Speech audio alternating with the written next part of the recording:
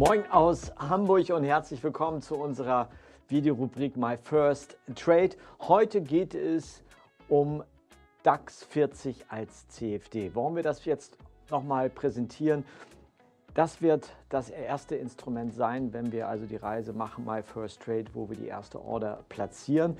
Und wir werden uns jetzt also nochmal detailliert um dieses Produkt CFD kümmern. Ich werde das mal kurz hier aufschreiben. Ja, für alle also CFD. Übersetzt Contract for Different. Und ja, für die einen oder anderen denken, das ist ein neues Produkt, das letztes Jahr oder vorletztes Jahr entwickelt worden ist. Nein, das ist ein ganz, ganz altes, in Anführungsstrichen, Produkt. In den 70er Jahren angefangen, aber richtig zum Vorschein kam es in den 90er Jahren. UBS Bank London hat, haben zwei Händler es entwickelt, um die Stempelsteuer ähm, zu umgehen. Ja, und in Europa letztendlich, auch in Deutschland bin ich vor circa 20 Jahren ähm, ähm, drauf gestoßen. Ein großer ähm, Broker hat dies zum ersten Mal ähm, angeboten. Ja, und ich bin ein großer ja, oder Riesenfan von diesem CFD-Handel. Warum? Weil der CFD-Handel ähm, sehr transparent ist ja, wir haben dort im CFD-Handel keine Laufzeiten, ähnlich wie beim, oder wie beim Future. Ja, beim, wenn Sie den DAX Future zum Beispiel handeln, haben Sie ja immer diese Quartale, ja, März, ähm, Juni, September und Dezember, wo Sie dann die Position schließen. Ja, wir haben hier keine sogenannte Knockout-Schwellen, sondern wir können selber einstellen, wo ist unser Risiko. Ja, CFD-Handel eignet sich also idealerweise für den aktiven Handel. Handel.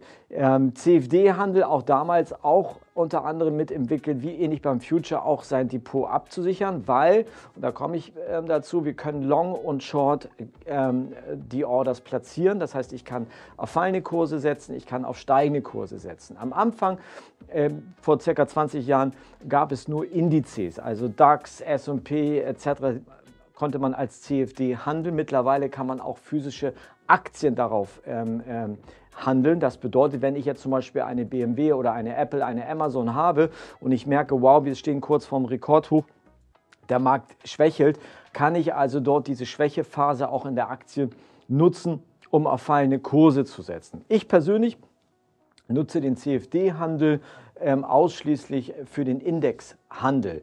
Und ich habe mich vor Jahren darauf spezialisiert, den deutschen Aktienindex zu handeln, den DAX 40. Und da ist dieses Produkt ideal. Warum? Das kann ich Ihnen sagen weil ich dort ein sauberes Risiko- und Money-Management ähm, vollziehen kann. Denn bei den Future-Kontrakten sind wir immer von der deutschen Börse immer äh, vorgegeben, welchen Kontrakt? Mini-Kontrakt, Mikrokontrakt. Im DAX ist es ganz einfach. Wir nehmen mal das Beispiel, wir knacken endlich die 17.000er Marke im DAX. So, und dann kann ich in meiner Software einstellen, möchte ich jetzt pro Punkt auf steigenden Kurs 1 Euro verdienen, möchte ich pro Punkt 10 Cent verdienen, möchte ich pro Punkt sogar 1 Cent verdienen oder das Ganze auch auf fallenden Kurs. Ich möchte jetzt gerne auf fallenden Kurs spekulieren und kann in meiner Software dementsprechend den Punktewert einstellen. Das bedeutet auf der anderen Seite aber auch, was wir uns in den nächsten Wochen ja immer wieder drum, äh, wo, wo wir uns konzentrieren mit dem sauberen Risiko-Money-Management. Wenn ich einen Stop-Loss platziere, das ist wie so eine Knockout-Schwelle, kann ich das sauber ähm, umsetzen. Ja, aber Carlos, äh, CFD-Handel ist ja so risikoreich etc. Sicherlich wird man immer in eine Ecke gelegt. Aber wenn man CFD-Handel betreibt, im DAX zum Beispiel, DAX 40, und platziert immer einen Stop-Loss, was ich euch als Grundregel gebe, immer einen Stop-Loss zu platzieren, dann ist es nichts anderes, als wenn du ein eigenes Bankprodukt kreierst, nämlich mit einem Stop-Loss und du kannst dein Take-Profit einstellen etc. Es ist aber wirklich transparent. Ja, wir haben die Möglichkeit, mit Hebel zu arbeiten. Auch dort werde ich immer wieder, oh, Hebel, Hebel, Hebel. Ein zu hoher Hebel kann, zu, kann mein Depot schreddern. Und da gebe ich euch auch recht. Ein zu hoher Hebel ist von denjenigen, der das verkehrt bedient, natürlich toxisch. Warum? Wenn du natürlich nicht das Risiko-Money-Management dazu nutzt, dann ist ein hoher Hebel natürlich ähm, gefährlich. Wenn wir aber sagen, wir riskieren nur ein Prozent von unserem Depot, zum Beispiel bei 10.000 Euro sind das 100 Euro, dann berechne ich ja die Positionsgröße. Und da meine Damen und Herren. Um jetzt vielleicht auch technisch ein bisschen reinzugehen, brauche ich ja ein Instrument, was ich skalieren kann, wo ich sauber einstellen kann, wenn ich nicht so ein großes Konto habe, ähm, dass ich sage, ich kann mit 0,34 Lots in den Markt gehen. Meine Damen und Herren, wenn jemand da draußen jetzt mit mir den DAX 40 handeln möchte und hat vielleicht keine Millionen auf dem Konto oder 100.000, möchte mit 5, 10, 20.000 mit dem Trading beginnen, dann ist dieses Produkt CFD sehr, sehr spannend.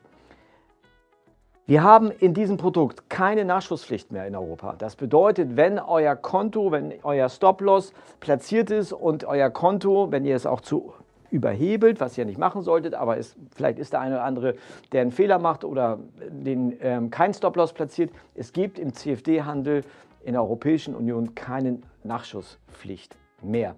Mittlerweile steht aber auch CFD, der CFD-Handel, so unter nicht Beschuss, aber äh, von der Regierung, dass man sagt, man besteuert den CFD-Handel separat. Dort laufen aktuelle Klagen gegen, weil letztendlich die Bankenlobby da ein bisschen gegen feuert, weil CFD ist natürlich ähm, sage ich mal, ein Produkt von Brokern für Trader etc. Und das wird aktuell von der Bankenlobby nicht gerne gesehen, weil die wollen ihren Zertifikatenhandel so ein bisschen in den Vordergrund legen.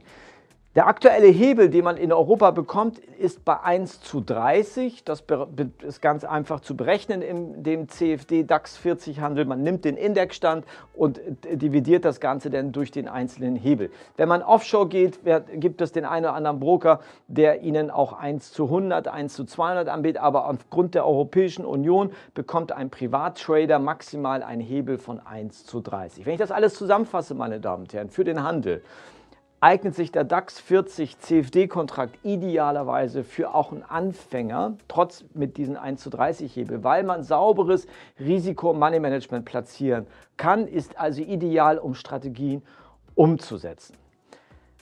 Das war so ein kleiner Exkurs ähm, in den CFD-Handel. Und meine Damen und Herren, ähm, es gibt mittlerweile auch ab ja, Weichungen von CFD-Handel. Auch wir handeln teilweise Dynamic Swaps. Es werden also neue Produkte aktuell auch kreiert aufgrund der Steuerproblematik in Europa bzw. in Deutschland mit dem CFD-Handel. Aber das wäre jetzt noch ein anderes Thema. Nächste Woche kann ich Ihnen schon sagen, steigen wir dann ein in die technische Analyse, fangen an mit den Darstellungen der Kerzenformation. Ich wünsche euch allen eine erfolgreiche Woche ähm, gute Kurse und mal gucken, ob wir die 17.000er Marke diese Woche oder nächste Woche knacken. Bis dahin gute Trades und bleibt gesund.